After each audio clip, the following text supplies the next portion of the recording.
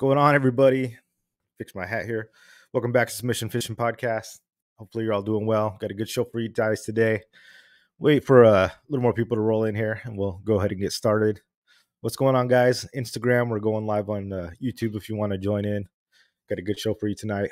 What's going on, man? Royal Hookups, what's up? Hopefully, you're doing well. We're on the, uh, we're going to hop on YouTube here pretty soon. Just got the YouTube live going. So hop on over. Richie Rich, what's going on, man? Welcome to the show. Glad you could join us. Driftwood Fishing 760. What's going on? Oos, glad you could join us. Big Water Outdoors. Glad you can make it tonight, man. You didn't sleep in this time, huh? Rocking the uh, pineapple pizza. You know what's up. Switch over from Instagram to YouTube. Oos, heck yeah, man. I think I've uh, been sending some jigs out to your uh, some of the guys going on your trip because I, I, saw a big Utah order come in today, so I appreciate that, man. Thanks for looking out for us, Captain Dan. Who's from sunny Carlsbad this week? Back home, man. Awesome. That's good to hear. Too much running around. It's good to be home every now and then. Actually, I like being home all the time, but you seem to be out and about every week. Big Water Yak says, now getting stuff ready for last week. Benji, Tom Marino, what's going on, Benji? Glad you could join us. Jeremy, what's going on, man? Oos, glad you could join us. See, Chavez says, I just got my micro jigs today. Can't wait to bust them out tomorrow. Yeah, man, looking forward to seeing some pictures, dude. Post them up. I think that'll be awesome. Can't wait to see what you get. Georgia Bassin, what's going on, man? Glad you could join us. Tossing the 20 gram for some sand bass tonight. Always killer. Heck yeah, dude. Hopefully, I see some pics. I love seeing the fish you guys catch on those things. If y'all want to join us, we're on YouTube. I'm gonna get the show started pretty soon here. If you guys want to hop on YouTube from Instagram, uh, we got the live chat and stuff like that. If you're not a members, uh, just check out Submission Fishing on YouTube. Have a good time. Join the live chat. See what's up to some killers. Big Water Yak says getting stuff ready for tomorrow right now. Nice, man. Fishing Fridays. That's the way to go. Love those Utah orders. Yeah, man. Thank you. Corey King said his, his order arrived. Thanks. Tossing them on the yak tonight. We can do a little yak yak fishing, huh?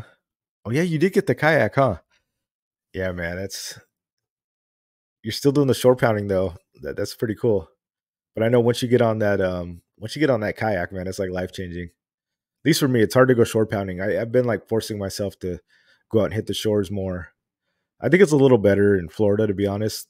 Uh, it's no joke in California, but I'm glad you're sticking with it. It's just when you have a kayak, it's just like so much easier to catch fish.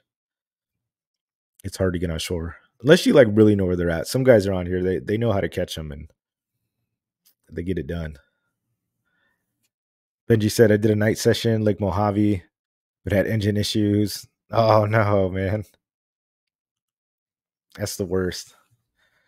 Downer SD, oos, welcome to the show. Glad you could join us. Yeah, man. No, nobody wants to mess with engine issues. What's going on, guys? Hawk Squad, did you really move to Florida because of death threats?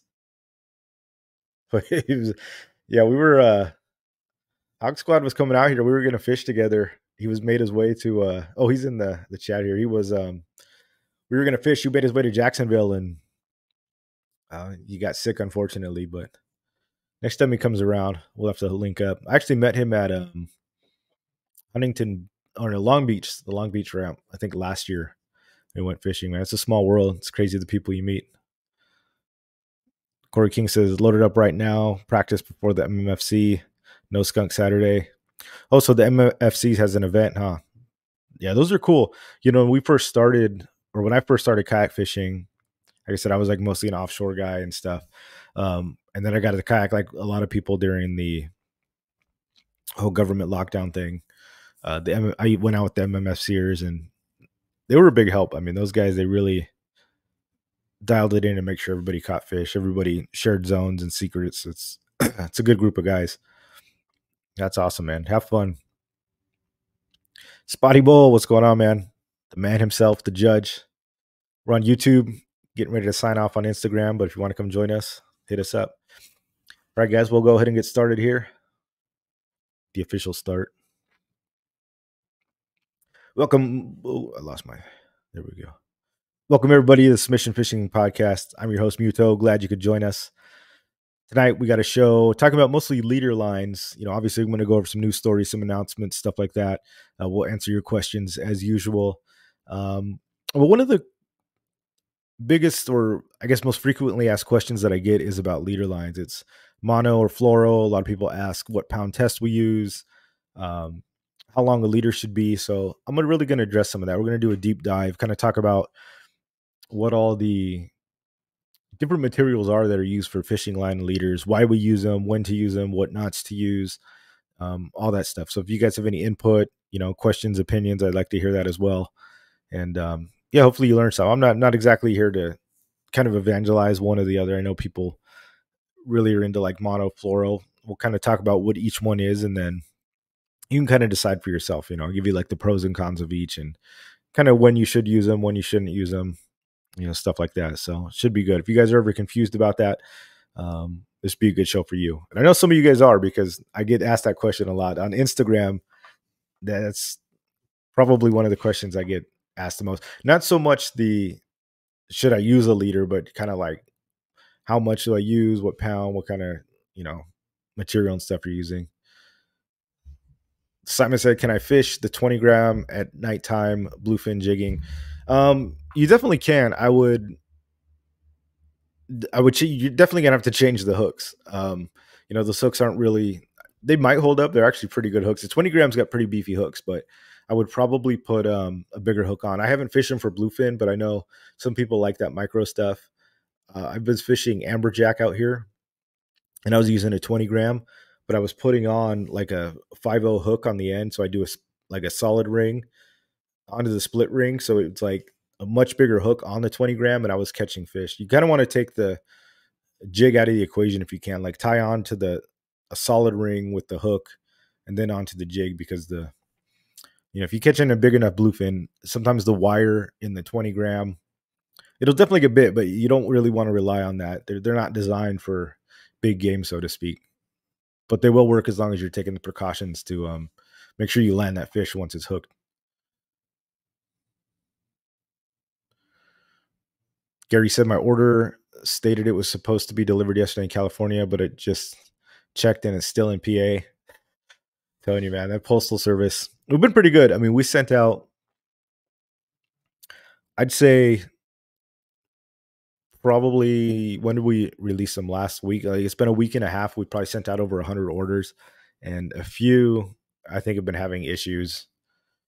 Hopefully they'll get it sorted out. I mean, if not, there's not too much I can do. Sometimes though, I can file like um, I can look at it and I can file um, like an insurance claim maybe and see if we can get you something out. But sometimes they get hung up and then they just they're lost in the system. And then they send it out. But hopefully they get them out to you quick, man. It's it's kind of crappy. I mean, once it's once it's in their hands, it's kind of their deal. But I'll do what I can to make. Hey, Prom Oos, welcome to the show. Glad you could join us.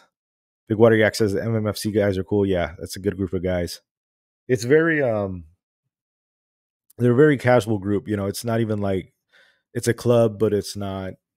You don't have to be like a dedicated member, you know, to join and it's not a bunch of rules, you know, just be cool, show up. They let anybody fish with them.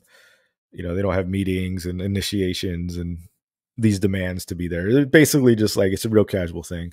Want to join, join, go help them, you know, go fish with them. It's it's very non-committal, so it's it's really great. Good stuff. Benny said we're going to hit 100 degrees here this weekend. It's going to be early summer, almost thistle time. Good luck, man. Bullhead is no joke. Big Water said, just don't promote your own stuff.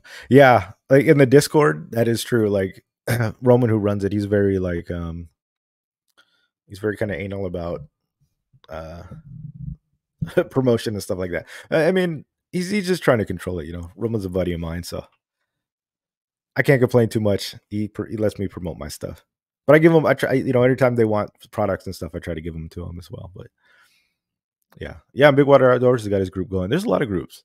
Uh, California Harbor Fishing's in here. Those guys are great. Um, you know, Salt Strong guys out here in Florida are awesome. MMFCers, even the DFA guys are cool. There's a, there's a lot of really good clubs. It, really no beef between any of them for sure. But yeah, check out Big Waters Group. It's like no holds barred. All right, guys, let's get into some news here. So Captain Dan sent me this story. I know a lot of you tournament fishermen are into some of this stuff, but so CCA has a star tournament going on. Uh, this isn't one that I sponsor per se, but it is a really cool tournament. So basically, it's not just the California tournament. There is one specifically for California, but there's one for Florida too. I think in Texas. CCA is a nationwide brand. Um, and they've got eh, not a brand; they're a conservation organization that you, you know, have a membership to. And these are the guys fighting for a lot of the fishing rights boundaries, especially in California, getting rid of a, you know, thirty by thirty, trying to fight MPAs and make sure our fishery is healthy and that the fish are there, and you know, doing it on science based things, you know, instead of just knee jerk reactions from environmentalists. He's a real conservationist, but they put on a cool uh, tournaments and stuff too. So the star tournament, I mean, it's pretty crazy. You can win a boat. I mean, it's like thousands of dollars of prizes. Uh, I'll put this link in the description for you guys so you can sign up if you want to. You have to be a member and I think it's $40. But what's cool about this is it's kind of like a running I didn't look through all the rules and stuff, but from my understanding, it's like a running tournament where they you kind of fish and then when you uh, post the pictures there's like an app that you you do the stuff in that you're put into raffles and stuff like that. So you can fish it and it's from it's all summer long. So you fish all summer long. You can win weekly and then there's like grand prizes at the end. So it's something you can just kind of do all summer. And what's cool is they've got a lot of bass sand bass calico bass spotted bay bass uh, there's stuff for halibut yellowtail you know and there's minimum sizes to be measured uh, so spotted bay bass it says 18 inches. That that's pretty tough. There's not too many 18 inch spotties out there, but calico sand bass, you know, no problem. But yeah, you guys can win a boat, straight up 18 foot Parker, the Yamaha outboard. They've got trips to Alaska, um, you know, guided fly fishing trips, and a lot of these trips are donated. You know, four day trip to Cedros. Um, all this stuff. And then there's other, you know, prizes throughout the year. So definitely check that out, guys. There's no reason not to join um, especially if you're a member of the CCA, because it's just something you can do. If you're going to fish anyways, there's no reason not to do it. Um, you know, it's just kind of one. It's like a passive thing, and we we do these uh, out here like the Salt Strong uh, community. That's sort of like the community I've been working with out here mostly. Um, and they do tournaments too. I actually won one last week, won like 50 bucks. Uh, these ones are a lot bigger stakes, but they, they kind of just they go for a month and you put in your you they'll have like a target species and you catch it and it's not really based on size at all. It's just you basically catch it, put in the code, you hit the target fish, and then you're just basically put in a raffle is like how it works. And it, I think this one kind of works like that too. So there's not pressure to kind of get up and fish for the biggest fish. It's just like it's kind of a no brainer. Just fish and win. I mean, there's no no real pressure to be yanking in monsters and stuff. So definitely check that out. Um, CCA Florida's obviously got it going on. CCA California, pretty much anywhere has got those um, the CCA Star Tournament. So that's something you guys are into. Definitely check that out for sure. Um, and then there is the BD Outdoors tournament coming up. That is one that I'm sponsoring. Um, I believe that's next month. So they're doing a Spotted Bay Bass, kind of their first annual uh, Spotted Bay Bass tournament. So go check that out. It should be really cool. And um, yeah, we're doing like kind of a raffle prize for that at the end. Uh, or I'm not sure what they're gonna do, you know, with the stuff I sent them, but uh, definitely sponsored those. Been a, uh, working with the BD Outdoors for a couple years now. Those guys are really cool. So check out their thing. So if you guys love fishing, spotty fishing, I mean, there, there's plenty of stuff to do. Even just a couple years ago, there was very, very few tournaments out there. Now there's just tournaments left and right. Spotty Bowl kind of kicked it off, and then of course Spotty Bowl. You know, we do a side pot uh, largest spotty caught on submission jig. Uh, every every event, so every week you do it, whether you're LA, Orange County, or uh, the San Diego chapter. You know, we do. I think twenty five dollar gift card, maybe twenty dollars. I don't remember. Um, for the longest fish with the submission jig. So that's another something that you can just kind of fish all summer. Leonard, what's going on, man? Glad you could join us. 21 month member. Thank you for joining. You're the man, Leonard. Hopefully you're doing well. Good to see you. Nick SoCal Fishing Squad. Ooh, so what's going on, man? Hey, we've got a uh I'll be talking about leader lines and we've actually I was gonna bring you up in this uh conversation too, because you have a kind of an interesting take on these things. Dax the Ginger, sick cat. Thanks, man. Yeah, this is a what the Abachar hat. You know, the guy that uh he does it. He actually did the art for a lot of the like booklets, even for like the California CDFW like regulations and stuff. You'll see a lot of his art. I actually have a halibut painting that he did. He's always at PCS too, but that guy does great work. Ready to paint? Yeah, man. We're trying to get some blanks so you can paint, get it done. Still on my fishing high from last night. Oh yeah, you went to the Long Beach breakwall. Was wide open calicos. Yeah, man, that's awesome. I've only fished that like one time. You guys know I was a San Diego guy, but I went up there with Lane, uh, Lane Killian, and it was good. But we went during the day. Apparently, a place at night is just like it just lights out calico fishing, which is crazy. Yeah, you found some tanks. I saw those things, man. You and Chet. That's awesome, man. Congratulations. Super fun. That's good stuff.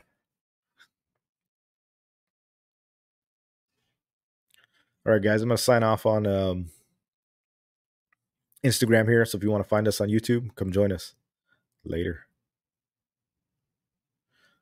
Yeah, that's awesome, Sammy. See, you could have joined the. Actually, it's not. I don't think the tournament's going on yet, but yeah, something like that. You know, for the CCA Star Tournament, you could enter those pictures. And apparently, there's an app like a chaos fishing app where you go in, and I believe BD Outdoors is using the same thing where you do all your submissions through this app, and then the app takes care of like all the measurements and stuff like that. So, pretty cool. All right, let's see what else we got here. And for those of you guys, the Florida crew, if you guys, I know most of you guys are California based, but uh, I know I have some Florida listeners here. If you guys are in Florida, Jacksonville, I'm speaking at the um, Salt Strong meeting. They've got the club meeting next Tuesday at 6:30 p.m. at the Mavi. So if you guys are in town, I'm going to be doing a slow pitch seminar, how to fish submission jig, especially out here for um, you know rockfish and cobia and just all the stuff that we got, barracuda, all the different species out here. Going to just give kind of a tutorial on how to get bit with submission jigs. So if you guys are in town, come say what's up.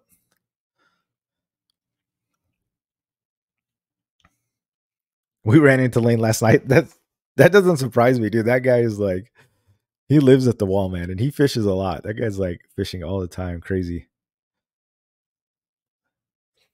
Lane definitely fishes. That does not surprise me. All right. I think that's it. Oh, last announcement. Uh submission at sea, guys. We're running for those of you guys that don't know, we're I'm doing a two-day trip out in California this year. I'm gonna fly out there. Uh, we're running on the Voyager. We're gonna do a two-day trip. Uh, it's technically it's kind of like two and a half day. We're gonna leave October 24th. I mean October 20, yeah, October or the 23rd. I think the 23rd, 24th, 25th, we're gonna go out. Uh, we're gonna probably go to the 60 mile bank. We're gonna look for big rockfish um, and then bluefin at night. So if that's something you guys want to do, if you want to come fish with me, fish with us, uh, learn to do some jigging, or you know just fish with a lot of cool guys. Meals are included. Um, you know, lots of swag, giveaways, stuff like that. So go to submissionfishing.com the submission at sea tab. You know, get your ticket. It's in October, so we got a little while, but um, if you want a good spot, get on your bunks, get on there quick. So you basically you're going to choose your bunk, and that's how you um buy your ticket. So it's first come, first serve if you want to choose where you're going to sleep.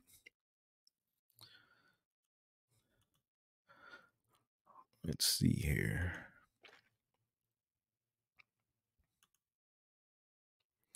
All right, guys, let's get into it. So, like I was saying before I came on or before I started, one of the biggest questions that I get, bar none, is about like fishing leaders. A lot of people want to know. It's just it's a pretty you know innocent questions, but a lot of people want to ask like how long of a fishing line, how many poundage, you know, stuff like that. And then the question obviously comes up too all the time. It's whether it's mono or fluoro. Um, and a lot of people have questions about leaders. So we're just going to kind of go over it a little bit, talk about it, see what fishing, you know, leaders are, when they're necessary, you know, all that good stuff. Kind of get into the weeds of, you know, what is monofilament and fluorocarbon, you know, and, and all that good stuff. And first and foremost, we kind of got to go over like what what a leader is because it's not that evident, especially if you're new to fishing. Basically, when somebody talks about a leader or a leader line, we're talking about a piece of fishing line that's typically attached to a braided line. You know, back in the day, everything was pretty much monofilament line. That's the nylon, you know, we'll go over that, but it's it's kind of a vinyl line made of plastic. You've all seen it, right? It's been on reels forever. It's uh, single line, it's monofilament. That's that's what used to just be full on everything. Spinning reels, bait casters, conventionals. Although bait casters are, are kind of newer too, but like conventional reels and stuff, everything had mono on it. So whenever you tied on a hook or a jig or a leader or bait, it didn't really matter because your whole spool was filled with the same line that you used. So you would just basically tie a knot to whatever hook or jig, um, whatever it was. It wasn't really a big deal. And then this thing called braid came out, and braided line kind of changed the game. Uh, braid is basically it's a polyethylene. You know, there's like Spectra, Dyneema, different brands kind of came out with their own proprietary thing, but they're synthetic based as well. Um, you know, in Japan they call it PE, which is basically polyethylene, which is the compound, and that's made up of a bunch of little strands that make up uh, basically a fishing line. So it's four strands, kind of how it started. Now it's eight strands, 12 strand. I've seen it up to, you know, 16 strands. 12 strand is kind of hard to find in the US. Mostly it's kind of a Japanese thing because they do so much jigging. But out here, even like the Berkley X9 is kind of big. And then the 8X as well is kind of a popular thing. And when you see the 8X, it's just that's how many carriers, how many little lines make up the braid. Well, when braid came out, there's a couple things with braid. It was, it's very thin and it's very strong. So people are able to get a lot more line on their reels now. So that's why people are switching to braid. And they switch to braid too because it can be cast further. It casts further, uh, it sinks fast, it cuts through the water fast. You can get a lot more footage on your line. There's really no reason to have to not have braid on any reel that you have. Um, but with the downside of braid, with the exception of Nick SoCal Fishing Squad, is that um, it's it's not clear you know it's not see-through it's not translucent it's usually solid color and it's doesn't have really any abrasion resistance at all. So what people started doing was tying on leader lines. Basically a tip or a piece of line it could, it could be two feet three feet six feet whatever it is but it was a, a tip of either monofilament or fluorocarbon uh, plastic line that went onto the braid. A couple of reasons is that is it gets you you know some visibility because you know braid's obviously not clear so you could either throw a mono or fluorocarbon tied onto the braid and then also you have the abrasion resistance and i think that's probably the more important thing too is the problem with braid is that it snaps extremely easy if you're fishing near pylons rocks anything like that there's almost no abrasion resistance in braid. The tensile strength is very, very strong, meaning if you're pulling on it just straight, uh, it's much stronger than monofilament or uh, fluorocarbon. But if you're rubbing on oysters or rock beds, it's not very good. Or if a fish twists up in it, uh, it's just it's going to pop off. So that's kind of where the genesis of leaders came in, where it's you know relatively it's been around you know a couple decades now, but it's it's relatively newer in the fishing world.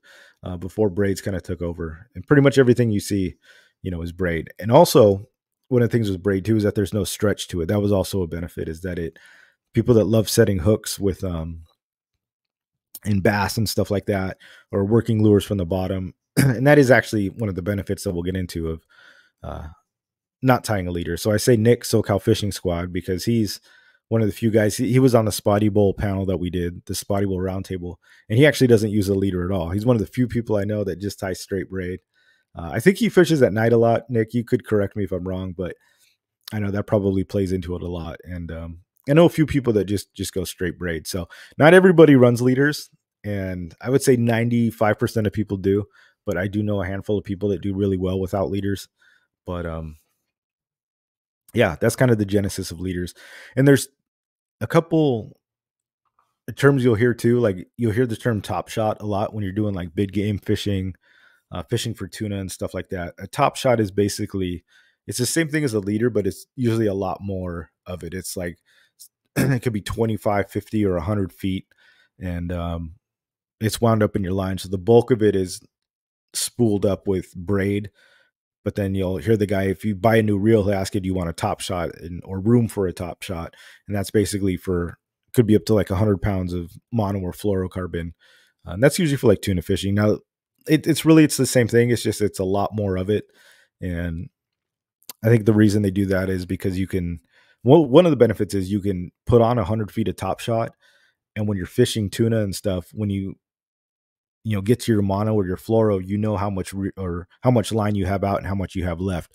Or even when you're dropping a jig, it's actually very beneficial because you can once you've seen your mono disappear, you know that you're at 100 feet deep. It's actually pretty handy. Or when you're reeling it up, you know the fish is 100 feet away. Uh, but also, then you can cut it off throughout the night or throughout you know the um the season and you're not having to retie leaders basically every time so it's really easy to just um, have that big top shot and then the traditional leader which we do you know spotty fishing calico fishing almost every other type of fishing rock fishing is basically a six foot ten foot to i've seen one foot two foot you know small leaders so that's what we're talking about when we say leader now, when we're talking about uh, leader materials, the two most popular, obviously, are monofilament and then fluorocarbon. And we'll kind of get into the differences and see which ones you guys need. Uh, monofilament fish fishing line, uh, it's a single strand fishing line made of a single fiber of plastic material, typically nylon.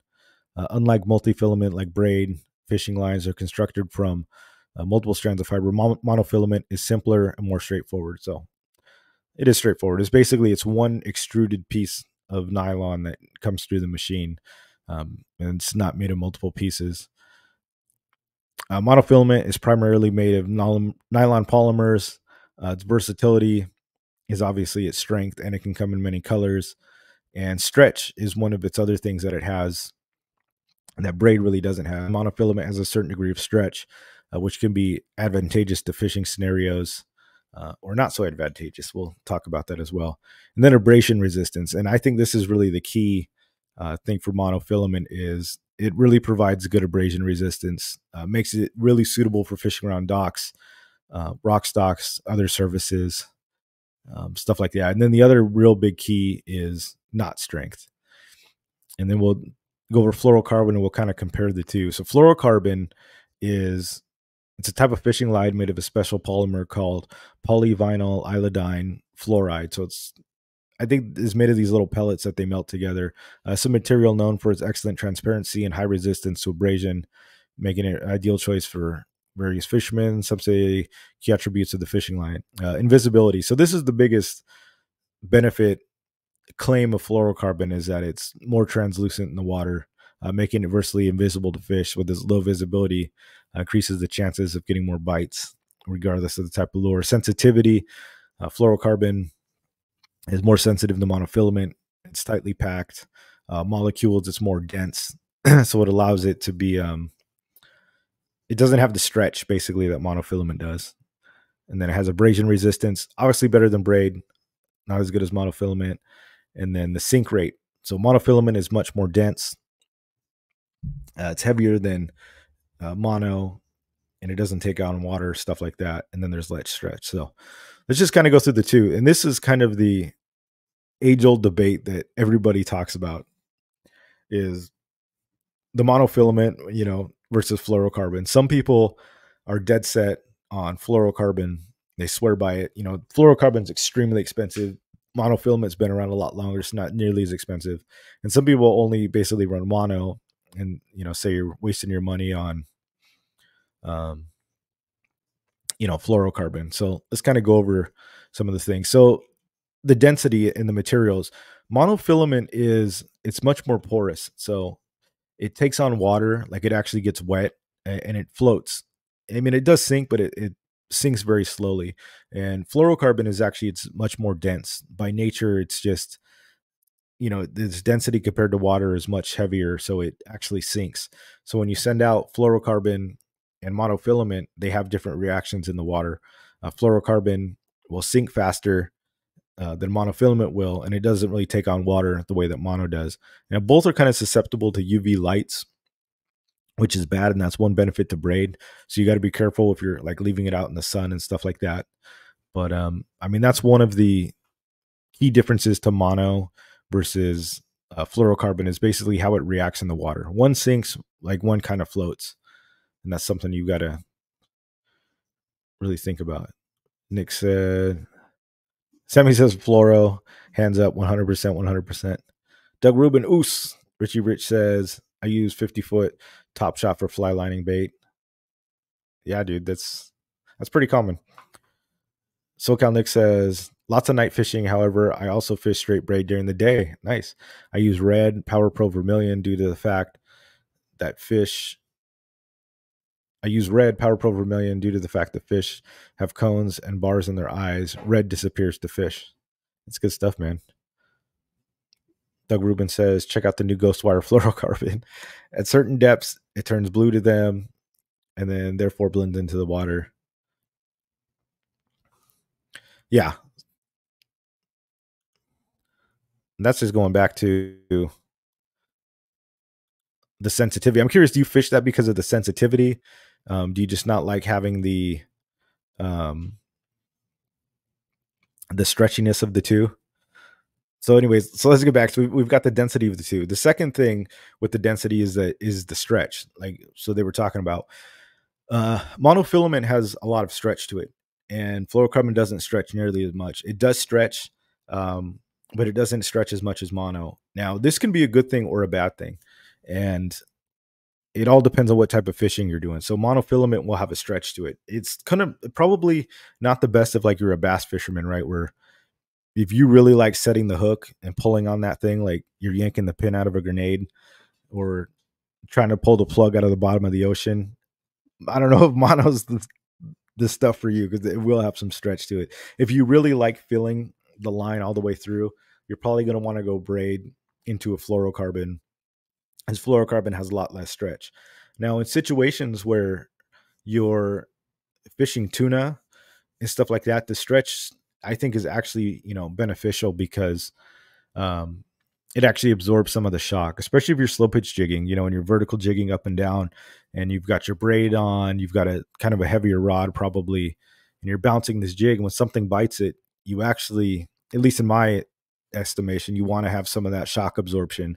Because you guys ever like held a line out and you pull it, especially with you know a fluoro to braid, let's say, and you're, just pulling it, it's pretty strong. But when you put it together and then yank it apart, that's when the knots snap on each other. Um, you know, when you're doing that snapping motion, even though if it's taut and you pull it as hard as you can, you probably can't break it.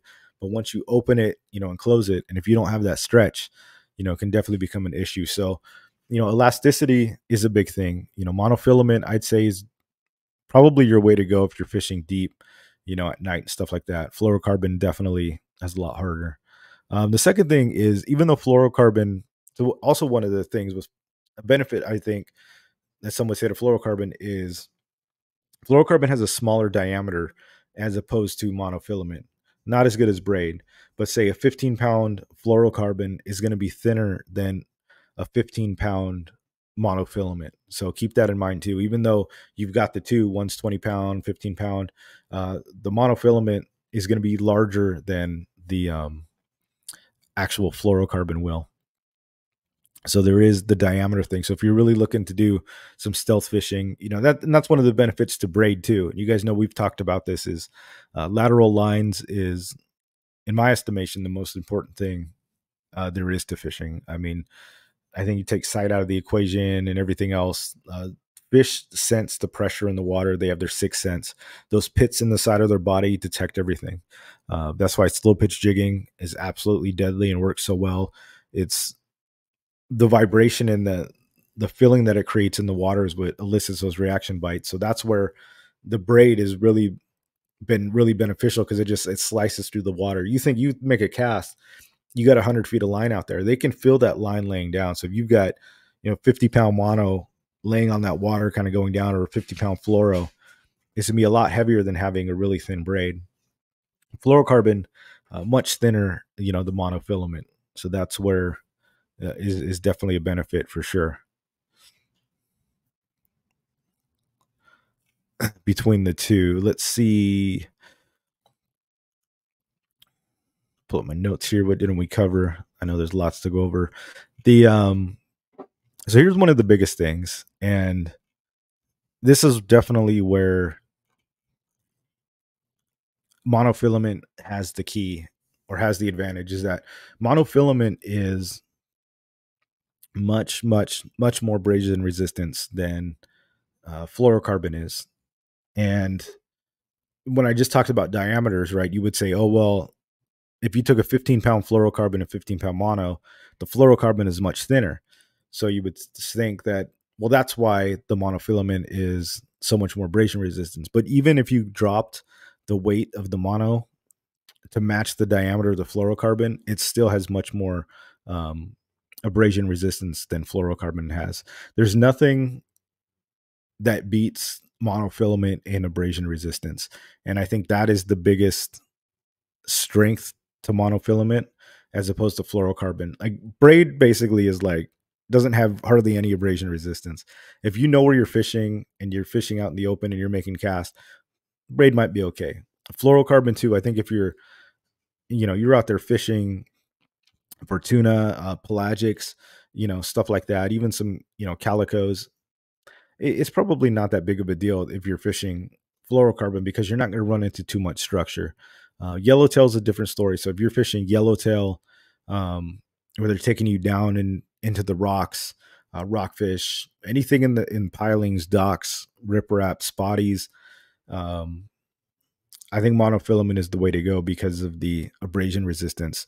You've got, you know, you're fishing spotties around pilings, especially if you're, at least for what I do, and I know a lot of you guys do, is the slow pitch jigging, pitching docks, the micro jigging in the bays. It's like you'll lose some fish for sure. And I think the fighting chance that you'll have is is if you're on monofilament. When you're right up next to a piling or in the rocks, uh, you want every advantage you can get that's where really the monofilament shines is it's tested over and over again. Brian likes to fish who comes on the show.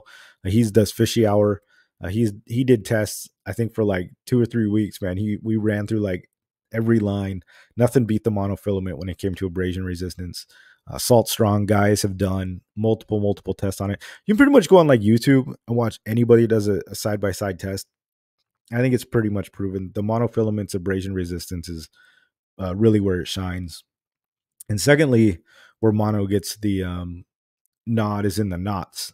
So the knots in monofilament are much better uh, than fluorocarbon. A lot of that is because fluorocarbon's hardness and density um, it doesn't create knots as well as monofilament. You can really sink down knots on monofilament.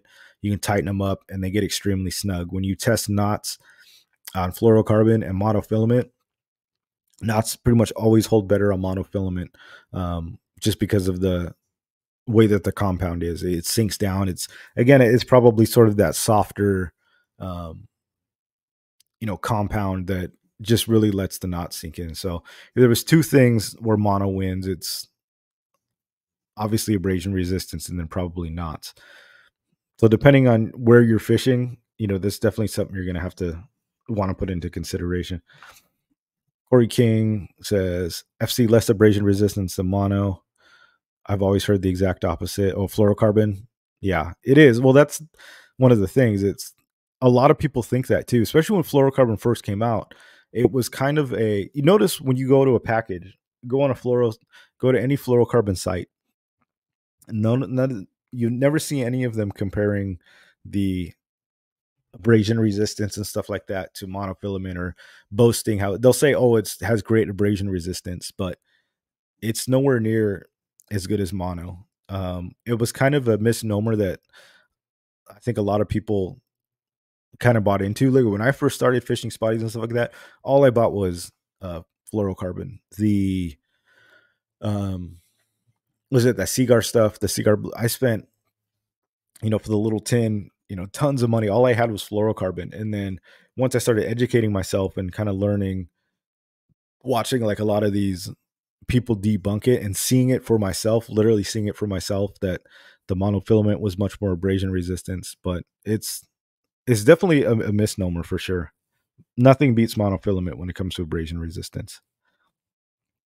Hands down. Sammy says they now have fluoro now that beats mono and abrasion resistance. And which um which fluoro is that?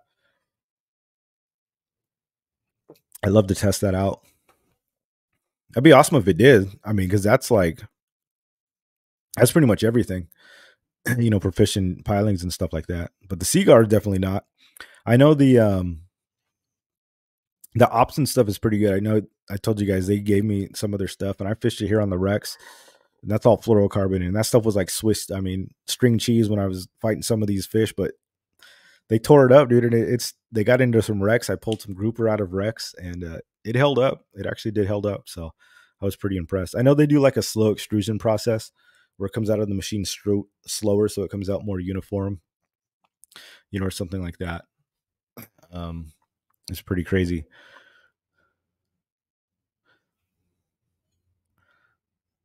Benji Moreno, his wife made this mug. Thank you very much. Shout out to Benji's wife. The uh, one of the other benefits to monofilament is the cost. Obviously, I mean, fluorocarbon is extremely expensive. So if you're a fisherman on a budget, I mean, you can get you basically you buy a roll of monofilament, you're never even going to use that thing before it goes bad. And that's the thing too. If you've got something like that just laying around in your box for like years and years, you probably want to get rid of it. There's a shelf life on it. Um, the vinyl ages, especially if it's been in sunlight and stuff like that, it'll, it'll decay. One good thing about fluorocarbon is you probably you'll probably use it, you know, because it's in the smaller rolls, and you, you'll just naturally use it before it kind of goes bad uh, but it is much more expensive. So that is the thing too. But even if you threw away two thirds of your roll of monofilament, you still wouldn't even, or oh, you have the mono, you wouldn't even be at the cost of fluorocarbon. Now, um,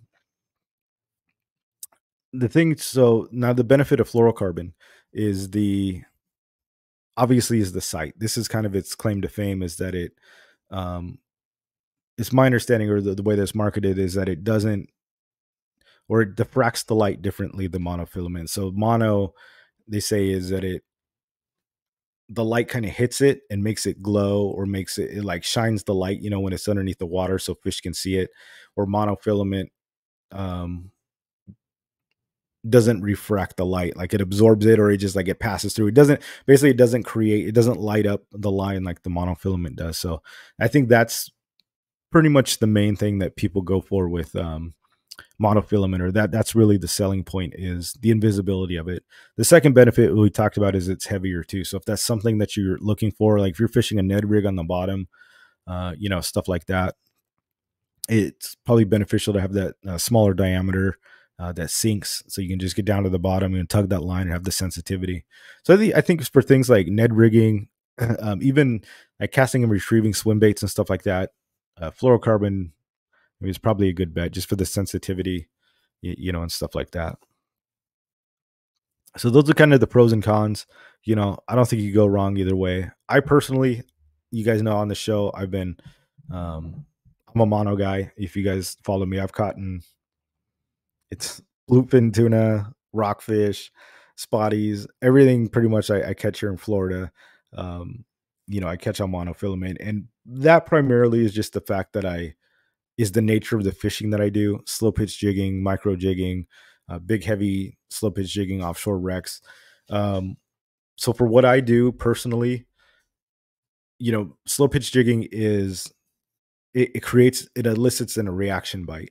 I'm not so concerned with fish seeing the line because it's not a slow finesse system that I'm using. You know what I mean? If you're using like a drop shot or Ned rig or a Senko where you're really trying to slowly tease a fish where they're looking at this thing for a long time um, and they're kind of studying it and the fishing slow. I can understand wanting the advantage of having a really thin line. But for what I do, um, It's a very active style. Like I said, it elicits a reaction bite.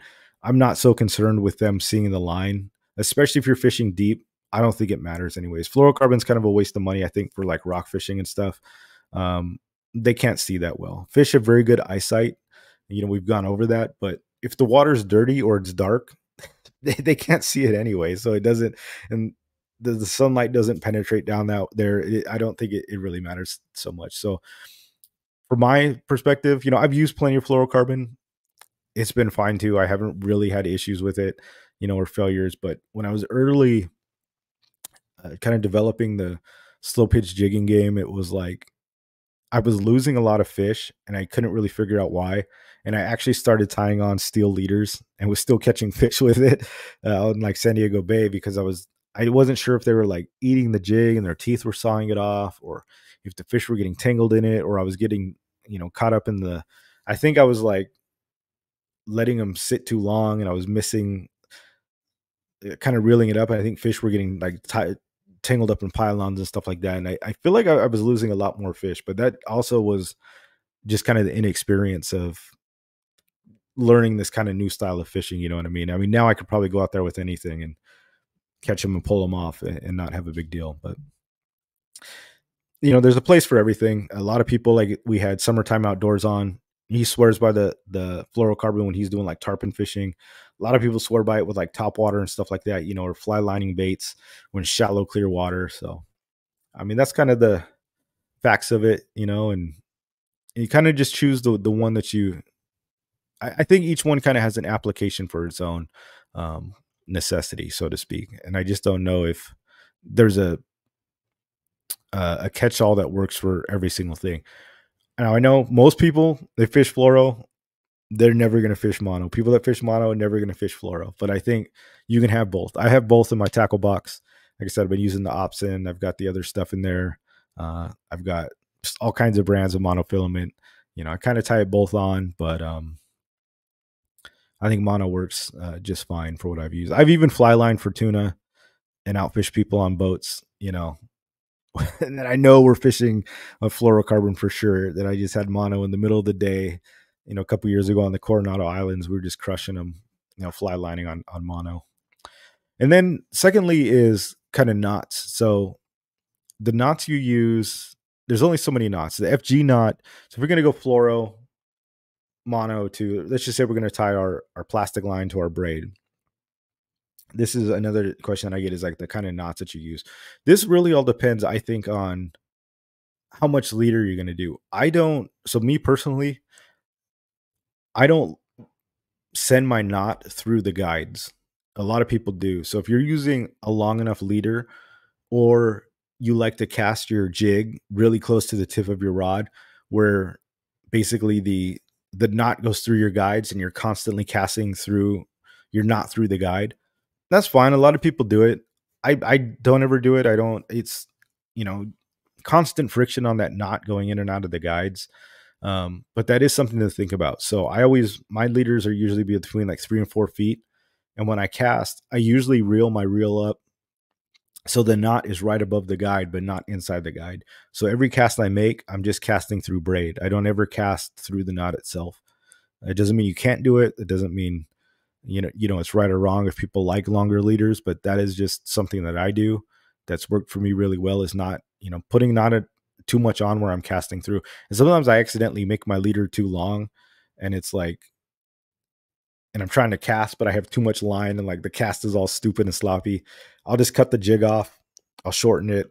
Um, so I can um, basically not be casting through the um, eyes of the the rod itself. So there are a couple lines or a couple knots that you could use a lot of times I just use the uh, my two go-to knots are the Albright and the uni to uni. A lot of times I'll just use the uni to uni because, like I said, I'm not casting through the guides, so it's not a big deal. It's a knot. It's easy for me to tie. Uh, it's extremely strong. It's been a good knot. The downside is it's very clunky. It's thick. Uh, it's chunky, and you're not. You don't want to go through the guides with that. So it's a very poor knot if you're doing a top shot or anything like that where you're constantly going in and out of the guides it's not the way to do it uh, my second best is probably the Albright. The Albright is super slim, super strong. I love the Albright knot. The thing with the Albright though is that it's it's actually very kind of there's there's many steps to it to get it right and i think a lot of people tie it wrong and they they fail but you've got to like tighten the you got to make sure the line goes to the eye right you've got to tighten the line end and then the tag end and the line end it's it's very i have it down you know pat but you've got to like really practice that one and there's little details to the albright but once you have it down and have it good it's pretty much almost unbreakable now that that's a good knot to tie when you're going in and out of guides and stuff like that. It's very smooth. It's very small. Um, but then honestly, the best knot you can tie, and Sammy knows, is the FG knot. The FG knot is proven. Um, it's the best leader to uh, braid line that you can make. It's um, it's bulletproof. It's the strongest. It, it just is the strongest. It's the strongest. It's low profile. You can send it through guides. Uh, and it really is the best. The downside with the FG knot, you got to practice it a lot. Extremely hard. I've never tied an FG knot in my life. I'm just being 100% honest with you guys. I've seen tutorials on it. Um, it looks too complicated. I know it's, I could learn it and practice it, but it's like, that's not a knot I want to tie on my kayak. That's not a knot I want to tie offshore on my boat when I'm getting bounced around. My Uni Uni and Albright, they never fail me ever. I've never had an issue with it, so I stick with them. But you can't argue with the FG knot. FG knot, if you can tie it and learn how to tie it, it is the best. I've I've seen um again, I've watched so many tests on the different knots, leader knots. Um FG knot is, is by far. There's so many benefits to the FG knot. So if you guys look that one up, you know, there's the blood knot as well, you know, a lot of people use. Um, but that, that's probably uni to uni, Albright, blood knot, and FG knot are probably the four that you want to tie. And again, that all depends on how much leader you want to do. If you cast through the eyes, I would definitely do an Albright or an FG knot. If you're not going to cast through the eyes, I think uni knot, you know, or blood knot are probably just fine on that end. Sammy, no, Sammy, do you tie the FG knot like are you good enough to tie that like when you're out in your kayak and stuff like that, like in a hurry? Because I could tie the other. That's one of the reasons I stick to uni to uni. It's something I can just I can bust out quick, real quick, and it's been very good. I mean, I've caught tuna, plenty of tuna, like hundred pounders on uni to uni knots, and not had an issue with it. But the FG is just like I think with anything, if you get good with it, I understand where you can hang with it. But that's something you can, yeah, you tie it on your kayak. It's definitely not you got to practice for sure. But I think if you get it down, that that is the knot to tie for sure. Oscar said he always uses the FG knot too. Yeah, you guys aren't wrong. You're not wrong at all. I just maybe I should. uh I'll have to practice it and then tie it. I've just I've I've seen it. It knots are one of those things where it's like I know it works and my knots don't fail, so I'm like, why why why learn another knot? You know what I mean? And then let's see the last kind of thing. So we had monofilament, we had carbon, and then we've talked about how you can go, you know, straight to uh, braid. If that's your thing too, you're just going to lose abrasion resistance, but braid. And then braid knots are different too because some knots hold really well in braid, like when you're going braid to like a hook or a jig, and some knots really, really suck. So not all knots are the same. Knots that hold really well in mono and fluorocarbon do not hold the same with um, braid. So that's something you got to think about too. And you really got to realize um, which ones uh, work or not if you're going to go straight braid. Benji Moreto with the $10 super sticker. Oos, thank you, Benji, so much for the donation, man. You're the man, keeping the lights on here at the Submission Fishing headquarters. Captain Adobo, Oos, made it to life finally. What's going on, Captain Adobo? You guys don't know, Captain Adobo, he was one of the he was one of the OG jigging guys. When I was getting into micro jigging for spotties, he was one of the only one of the few people that had heard of that before or knew what I was talking about. And he even owned like some of the jigs. So he was like, um, Captain was an OG man. That guy knows how to fish, and he's he's been around. His logbook too is insane. Double uni Alberto, good but more complicated. Yeah, the Alberto is real similar. It's like the Albright, right? It's Sammy says three to four minutes, about an inch long. Dude, that's a long time. That's a long time to tie a knot, man. Three to four minutes. Like when you really, if you sat down and like for four minutes just in your kayak, not fishing, especially if like the bite's hot, that's that's a long time. And that's probably fast. Like that's probably a fast FG knot too. Oscar said I could probably do it on the yak, but I get too impatient.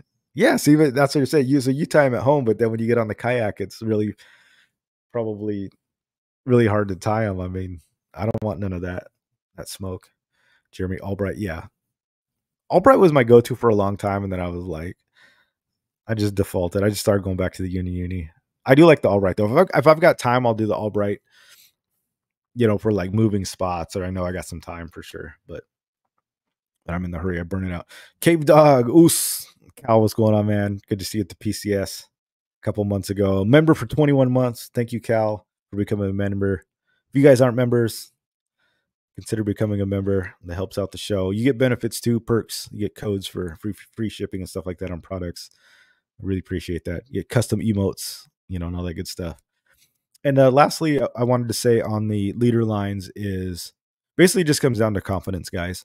Um, and we talk about this a lot. Whenever you're fishing, your confidence is key. People talk about confidence baits uh, and just stuff they do, and that's really everything. You know, your mind, me and my wife were talking about like the power of the mind and suggestion. How when you wills believe in something and will it, you know, sometimes it can come true.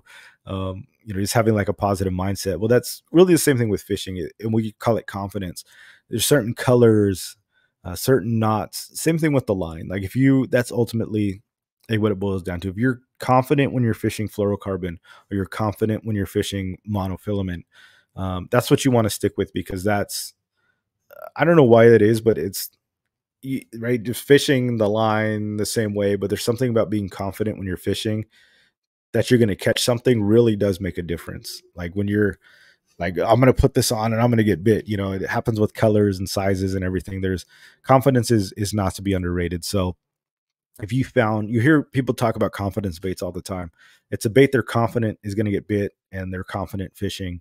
And same thing with the line. So if you're very confident with fluorocarbon, you just fish the fluorocarbon. If you're confident with mono, fish the mono. You know, you've had success with one and you know you can get bit with it. Uh, this really all boils down to. And fishing styles as well. You know, same thing with knots. Everybody is very dogmatic about the knots that they tie. Everybody wants to know what knot they tie and they talk about it. And everybody wants to haggle and talk about how who's knot superior. The best knot is the knot that you can tie the best, you can tie quickly, and it's going to hold and many knots do that. Um, San Diego Jam knot, the Uni knot, the classic cinch knot. There's millions of knots. The trailing knot. Fish the tie the one that you can tie really well that you've had success with. Learn it a million times and continue to tie it. And Bruce Lee said he doesn't fear the man that knows ten thousand kicks. He says he fears the man that knows one kick and done it 10,000 times. And that's, there's something to that. Same thing with like tying knots. Find a knot you can tie 10,000 times, get extremely good at it, and just use that knot. If it doesn't fail you, there's no reason to go searching for other knots. Now, if you're losing fish and they're breaking, you need to change it up. But just stick with it. Same thing with with the with the line, guys. Stick with what you know. But if you're fishing one or the other and you're not having success with it, maybe change it. If you're slow pitch jigging, uh, with fluorocarbon around docks and pilings and you're losing a lot of fish, try monofilament. If you're fishing mono and you feel like you're just not getting any bites, try fluorocarbon. Maybe it's maybe it's a visual thing, and maybe you're gonna get bit on fluoro and you know stick with it. So, you know, that's kind of my take on leaders, and hopefully you guys learned something. Um, you know, if you guys have any questions, comments, let me know. But um, yeah, hopefully that this uh, cleared some things up with what to use, when to use it, uh, benefits, pros and cons of each one.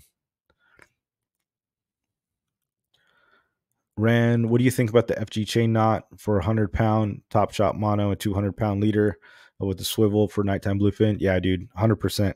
I actually did a show. I have a live show on here. Uh, I think it was like probably a year and a half ago. I actually did the eight, the uh, chain knot on, um, on live here. So I have a whole show dedicated to it. I showed everybody how to do it. I love the chain knot. I use that a lot all the time. I've caught 100 plus pound tuna on it.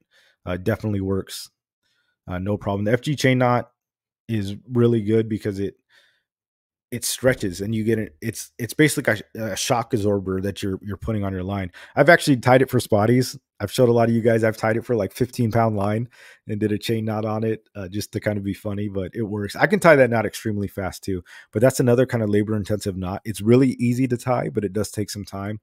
But uh, I tied the chain knot at um, CCA, one of the events where they do that thing. You like donate a dollar and then they put it on the machine uh, Kevin Nakata was with me and he did a knot. I was like, dude, I got this knot that'll last. So I tied the chain knot. It was like 40 pound test, and this thing broke well over 100%. It was like 106%. Uh, it went over 40 pounds, and the knot didn't break.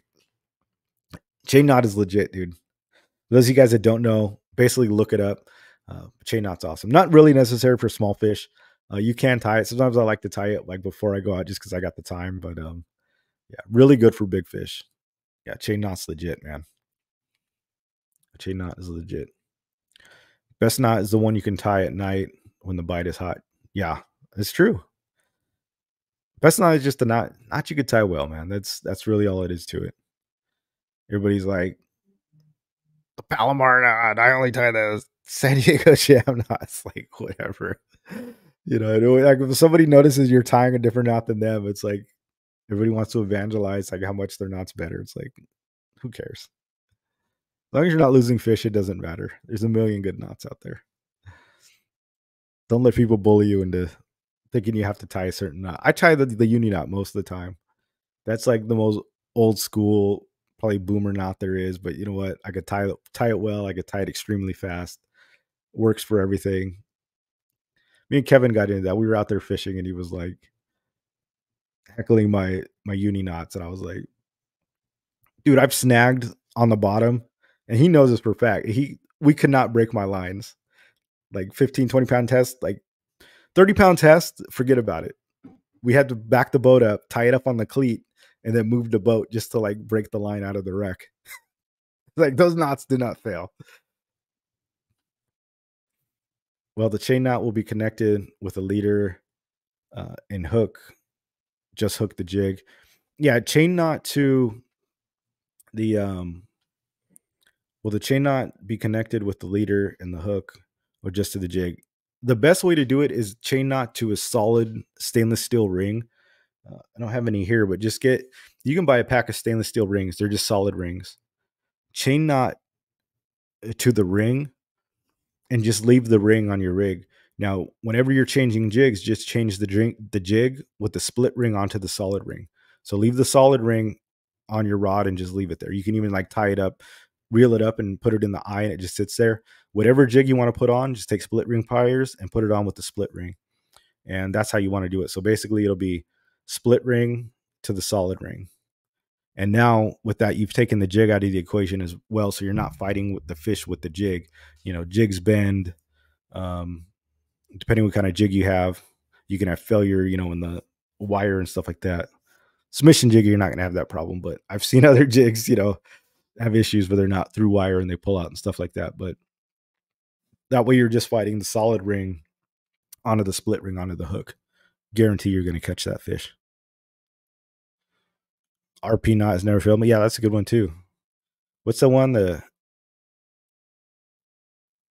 trilene knot that like Berkley came out with. That one's actually like really strong.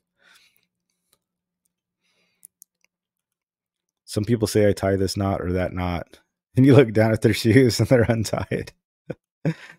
yeah, man. I remember I went fishing with my uncle one time, and he was like, dude was like so disappointed, like I didn't tie a Palomar knot. I don't even know how to tie a Palomar knot. Like I didn't even I haven't even bothered. Like I honestly like learned to tie some knots if you asked me to tie, I couldn't even tie them anymore because I don't even know. I just tie tie two knots my entire life. When I'm going on to a jig or leader, I mean not a jig, like yeah, either a jig or a split ring or something. It's either chain knot or uni knot. That's it. If I'm going to my leader to braid, Albright, uni to uni. That's it. It's the only knots that I ever tie. I know the Palomar is really popular though, and the uh, San Diego Jam Knot I think is really really popular one too. They work. It's fine.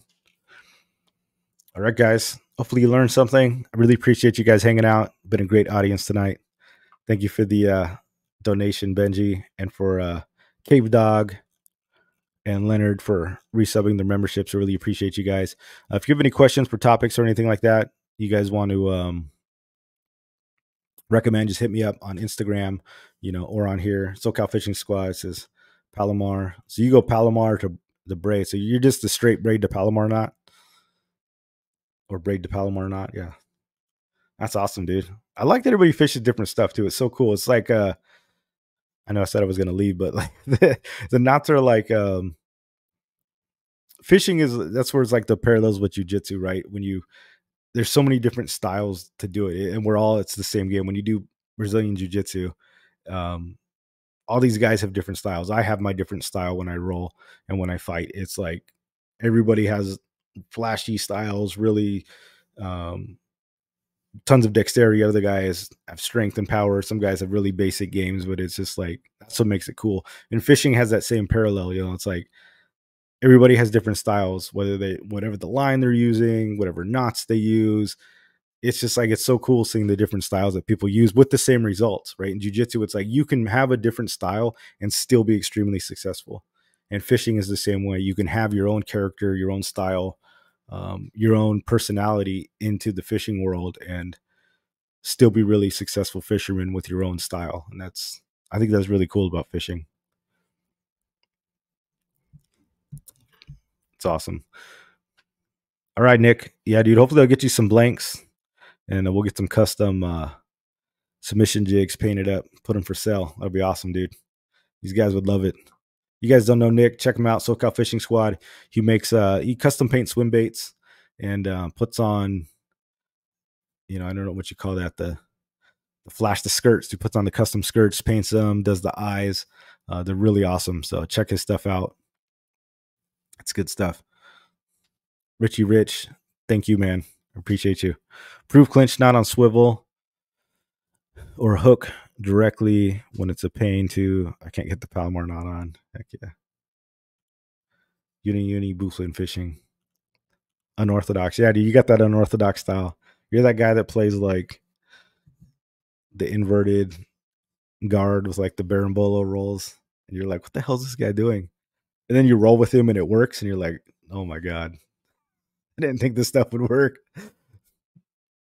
all right guys thanks again if you want a, your own submission jigs you can get them at submissionfishing.com get them at your local tackle stores we just restocked a ton of tackle stores guys we sent out a, a ton of micro jigs so if you didn't get any in this first wave we still got a lot of the um or not a lot but we still got some um, assassins some 15 grams and 10s the mercenaries sorry not the assassin mercenary jig. We don't sell an assassin. Uh, 15 gram sumos are already gone, but we did send a ton of jigs to local tackle stores. So, and a lot of them bought this micro stuff. So if you guys need refills, uh, go hit up your tackle stores, uh, get them from them. You guys go to fishing reps, you can find the dealer locator. Uh, they got your stuff. If you can't find it there, uh, submissionfishing.com. Again, check out Submission at Sea if you guys want to fish with me. Uh, definitely check that out and uh, go on that two day trip. And uh, yeah, all right, guys. Thanks for hanging out. I appreciate y'all. And we'll see you next week. Oos.